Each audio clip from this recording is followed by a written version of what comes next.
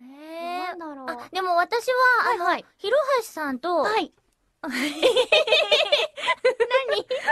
しさんと、お会いするのが、あれ？あ、でもお会いしたことはあるんあるけど、はい。ちゃんとこうやって、レギュラーで一緒になるの初めてです。ですよねはい。だったので、はい。しかも山田が、こう、途中から参加のね、キャラクターじゃないですか。うんだから、こう、ワクワクしておりまして。本当ですか。はい。私は、あの、ドキドキしてました。なぜかっていうと、はい。本当に変態みたいなんですけどえ、あの、ワーキングの現場は、はい、はい。かなちゃんとか、はいちゃんとか、えりちゃんとか、はいみんな可愛くて、まあ、なんか、どこを見ていいんだろうな。仕 普通に仕事してください。事して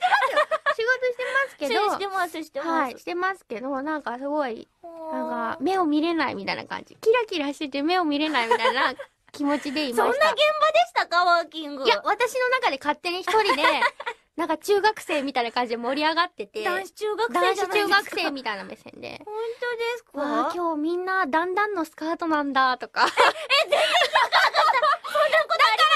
変態みたいだから言わないけど、いや、すごいと思って。そう思ってしまう言わないのがまたちょっと、あれなんじゃない言ったらよかった。言っても全然問題ない話じゃないですか。そんなのそう、だんだんのスカートを履いてましたよね。